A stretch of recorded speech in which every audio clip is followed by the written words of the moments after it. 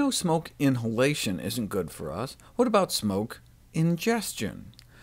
Uh, decades ago, smoke flavorings were tested to see if they caused DNA mutations in bacteria, and the test was negative. Even as more and more smoke flavoring was added, the DNA mutation rate remained about the same. But the fact that something is not mutagenic in bacteria has little predictive value for its effect on human cells.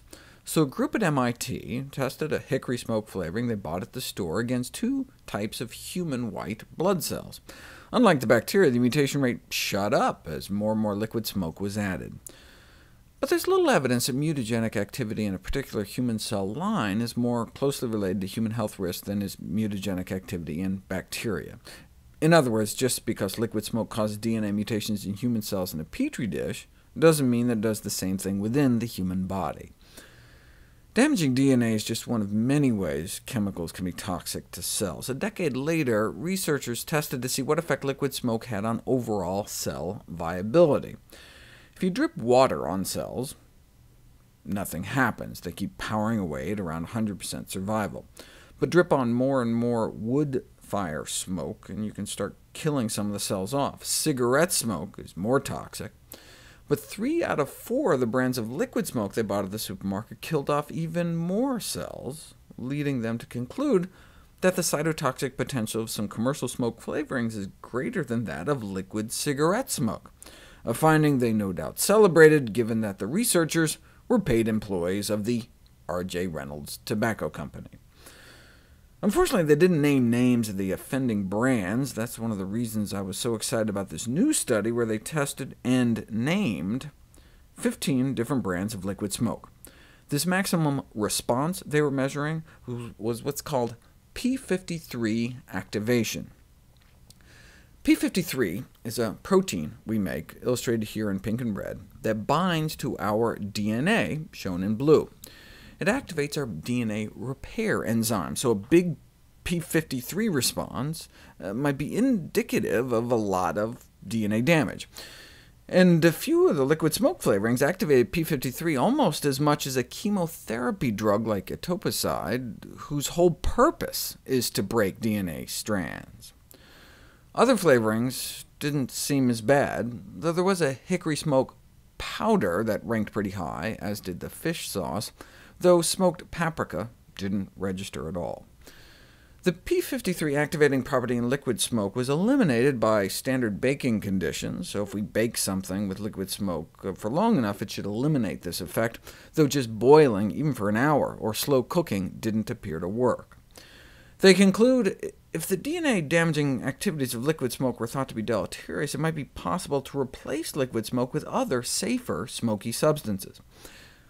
Why do they say if thought to be deleterious? That's because they're not directly measuring DNA damage. Remember, they're measuring p53 activation, and that's not necessarily a bad thing. Uh, p53 is considered guardian of our genome, guardian of our DNA. It's considered a tumor suppressor gene, because it helps repair our DNA. So if something boosts the activity, of p53, is that good or bad? It's like the broccoli story. Cruciferous vegetables dramatically boost our liver's detoxifying enzymes. Is this because our body sees broccoli as toxic and is trying to get rid of it quicker? Well, either way, the end result from broccoli is good, lower cancer risk. It may be a biological phenomenon known as hormesis. That which doesn't kill us may make us stronger. Like exercise is a stress on the body, but in the right amount can make us healthier in the long run. So for example, teas and coffees cause p53 activation as well, but their consumption is associated with lower cancer risk. So it's hard to know what to make of that smoke-flavoring p53 data. Due to limitations of the available tests, it's hard to calculate the genotoxic potential of liquid smoke, or any other food for that matter. A better approach may be to just analyze liquid smoke for known carcinogens, chemicals that we know cause cancer. This was first attempted back in 1971.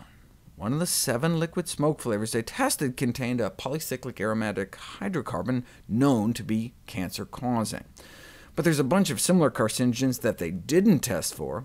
A later study tested across the board, looking specifically at five different carcinogens in liquid, retail liquid smoke seasonings. The recommended daily upper safety limit for these carcinogens is 47.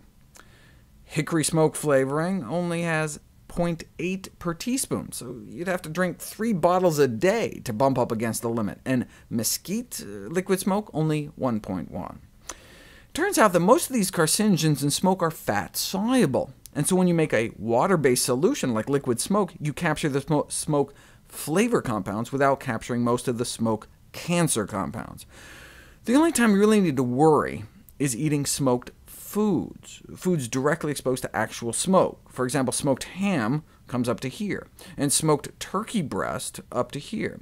So one sandwich, and we may be you know, halfway to the limit, but one serving of barbecued chicken takes us over the top. Less than a single drumstick, and we may nearly double our daily allotment of these carcinogens. Nothing, however, is as bad as fish. Smoked herring, 140. And we have to shrink down the graph to fit the worst of the worst. Smoked salmon. One bagel with lox could take us 10 times over the limit.